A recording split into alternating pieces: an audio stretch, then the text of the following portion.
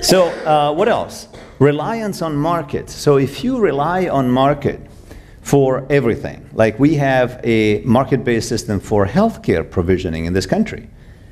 I had just a little uh, uh, story to tell you. I was in Italy this summer, and I had a little problem with something in my skin that looked like chickenpox. Was not, but you know, it looked a little bit scary. So I went through a battery of tests there, and I no longer am part of the healthcare system in Italy because I've been living here for 29 years. So I went to a private clinic and paid out of pocket. And the whole barrage of tests they did cost me 36 euros. 36, which is 30, you know, $39. Uh, and they had itemized things like uh, blonde, you know, the drawing of blood was two euros and 10 cents, you know, like $2.50, right?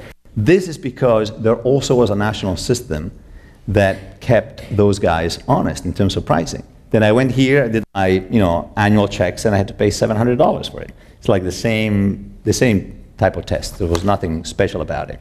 You know, it's a, one when you use a market system to deliver basic services, that's the problem you uh, are encountering. Now, the other thing is the markets don't see certain things. Like no one has to pay for pollution unless there, there is regulation that makes them pay, right? Uh, people don't have to pay for taking down the forest. You know, nature does not charge us. So the reliance on markets leads to the exploitation of what, what are called externalities, which is costs that somebody else has to pay for. So when we have, for example, the pollution of all the um, you know, chemical inputs that are flowing down the Mississippi River, and destroying you know, the, the Gulf of Mexico, that cost is borne by somebody else. Maybe the fishermen there, maybe the people that uh, you know would like to invite tourists uh, to the beach, and you know they can't because now the, the place is fouled up. So um, what else?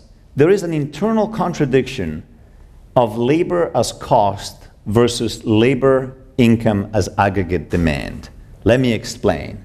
If you have, if you are a business the less you pay your workers and the better off you are because your costs are lower, labor costs are lower, and you are better positioned to compete with other businesses that might be paying their workers a little bit more or maybe a fair wage.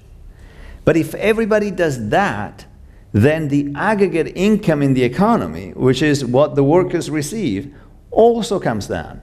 And that is really what drives economic activity. It's like if everybody is being paid less, there is less money circulating in the economy, and you also have to cut down on production and things like that. You know, uh, Ford, the, the guy who was making the cars, understood that and say, I want to pay my workers enough for them to buy my cars.